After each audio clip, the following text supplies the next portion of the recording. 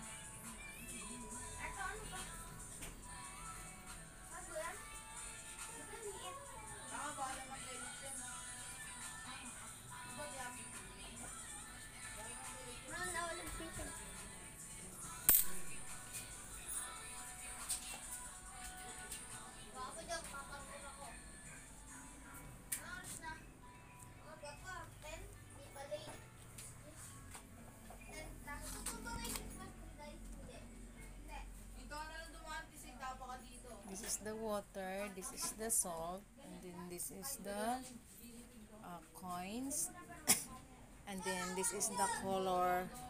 This is the color, uh, my lucky color for this 2022. The color of thou- the color of the color of 2022, and then the color of 2023 also, and then that's the money and in the fruits.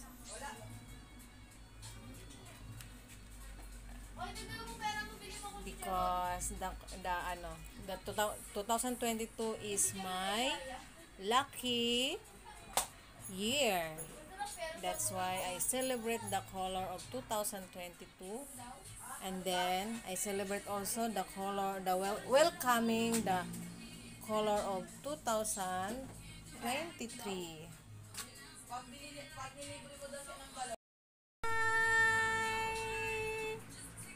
Look at busy. And then look also the color of my tablecloth.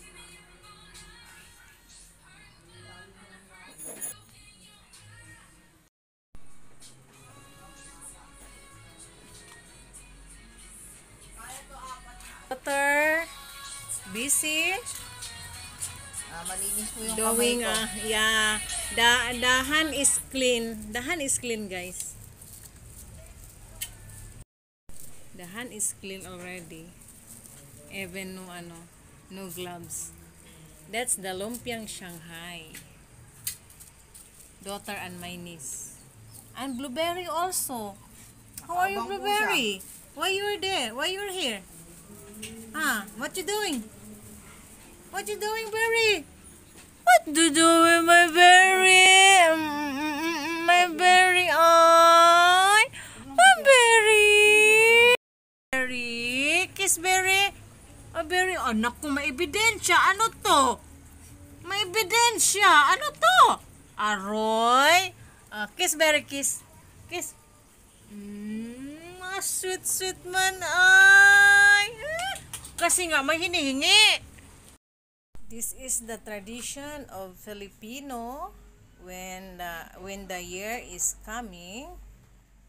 Yeah, this celebrate the new year needs to celebrate the color, the lucky color, the lucky color of the year and then I celebrate the color of 2022 because the 2022 is my lucky year and then the lucky color of 2023 is magenta.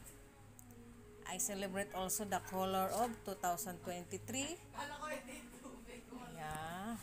At. Yeah, that's the color. This is the color of 2022. One of my favorite also and then uh, the lucky year. My lucky year.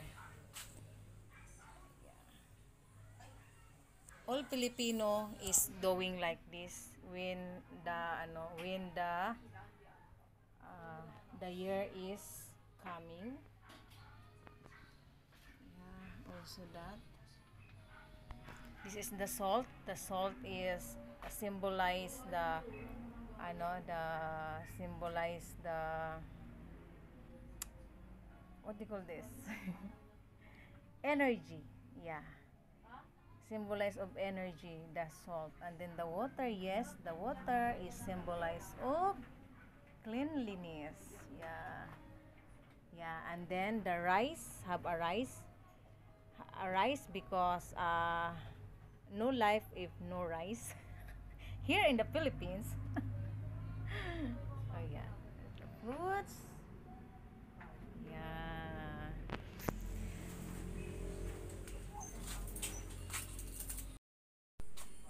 Yeah, the tablecloth is symbolize also the color of 2022 and 2023. Yeah.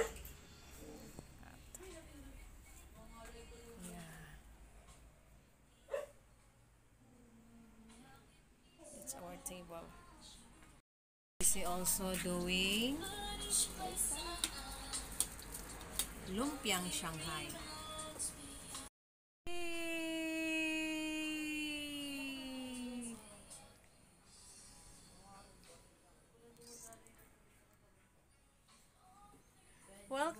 2023 and goodbye 2022. 22. I love 2022 22 so much. That's my lucky year 2022. From other country, look at I don't know what is this the money where ay yeah in Qatar. I know here in Qatar.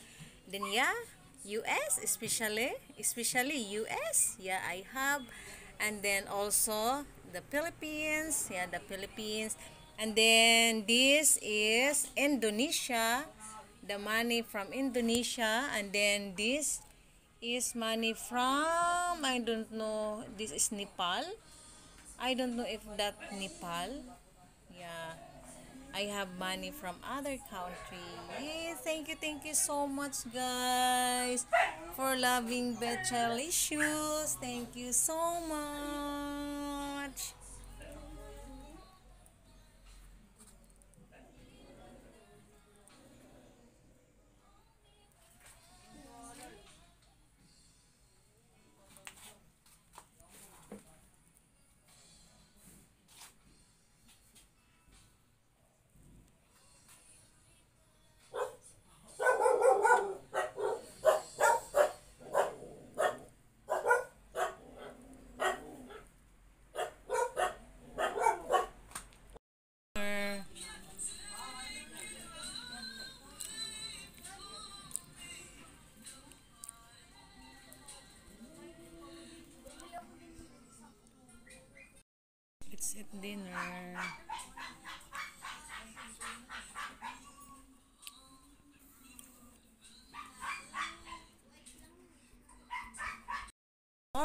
Food is here. That's the sitting of the table. The food is here and then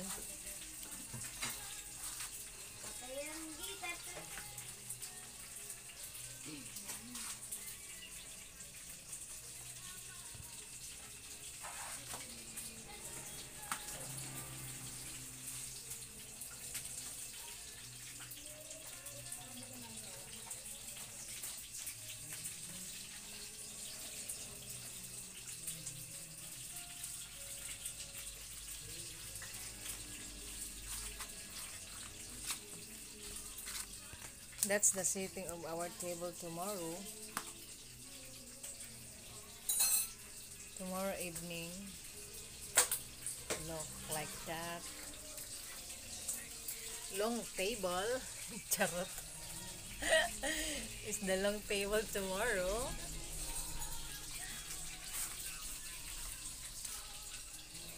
Then I have a Buddha. And then the money.